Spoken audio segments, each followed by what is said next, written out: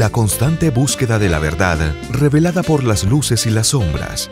Uno de los más destacados fotógrafos y caricaturistas colombianos con reconocimiento internacional.